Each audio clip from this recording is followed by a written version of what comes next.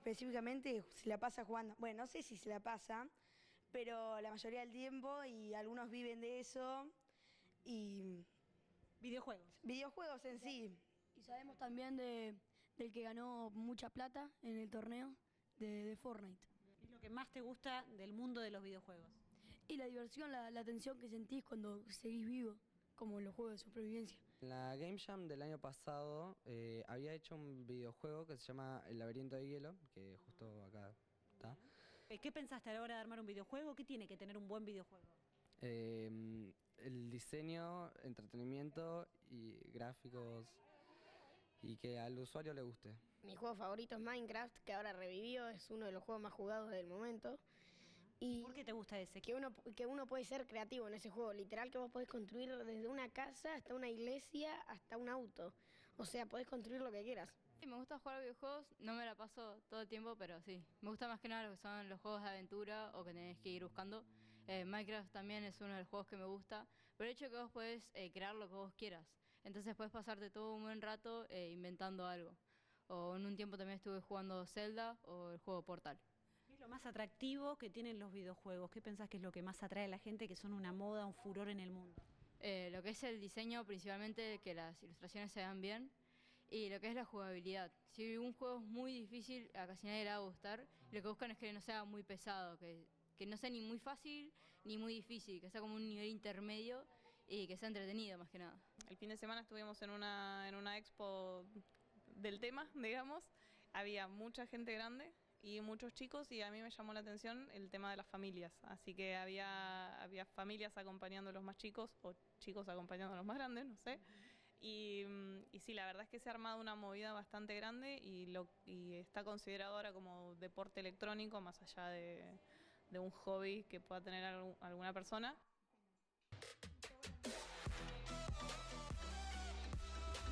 Y en este día surgen cifras interesantes que tienen que ver con una consultora internacional muy prestigiosa que hace relevamientos vinculados al mundo de los videojuegos y también a lo que ocurre aquí en Argentina. Vamos a compartir estos datos porque los argentinos usan y mucho los videojuegos. Casi la mitad de los argentinos, de la población total de Argentina, usa videojuegos. Estamos hablando del 43% de los argentinos que juegan a los videojuegos. Casi la mitad de la población, este 43% representa 19 millones de gamers. Como se lo conoce, Argentina es un mercado potente en el mundo de los videojuegos. Es el tercer mercado más importante de Latinoamérica y mueve millones de dólares. Dólares estamos hablando, de mucho ingreso que tienen las empresas vinculadas a la tecnología del videojuego. Y hablando justamente de los ingresos, vamos a compartir estos números que, insistimos, reflejan la importante actividad que tiene el mundo gamer, si se quiere. La consultora internacional se llama Newso, esa es la consultora que hizo este relevamiento. Estamos hablando de las ganancias argentinas.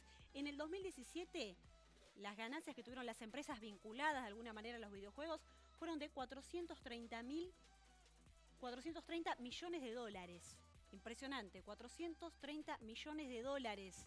En un año, en el 2017, todas las empresas vinculadas al mundo de la tecnología en función de los videojuegos. ¿Qué pasó el año pasado, el 2018? 450 millones de dólares fue total de las ganancias que obtuvieron estas empresas. ¿Y qué ocurre este año? Estamos todavía transitando este 2019 que no ha cerrado. ¿Qué se proyecta? Una ganancia total de 495 millones de dólares para este 2019, teniendo en cuenta todo lo que hacen las empresas relacionadas con el mundo de los videojuegos aquí en Argentina. Una industria que resiste frente a la crisis económica pese a estar muy atada a los dólares. Hoy estuvimos conversando con uno de los comerciantes que se dedica justamente a la venta de distintos elementos relacionados con los videojuegos. Es una industria, un rubro que se fortalece pese a la crisis.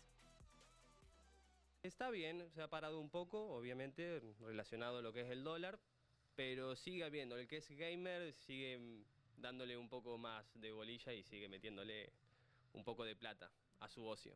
¿Qué es lo que más se llevan? Y con el tema, como te decía, con el tema del dólar, se volvió otra vez lo que es una generación para atrás, en la que es Xbox 360 y PlayStation 3. Y nada, jueguitos, muchos jueguitos.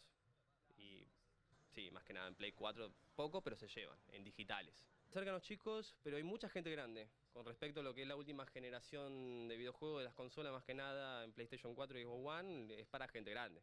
O sea, eso es para más de 18, es una consola pensada para, para gente grande, sí. ¿Qué pasa pasa con esto de los videojuegos y, casi lo deportivo? Porque hay muchos que, que que se encuadran dentro de lo que son deportes electrónicos o tecnológicos. ¿Eso también se nota en las ventas?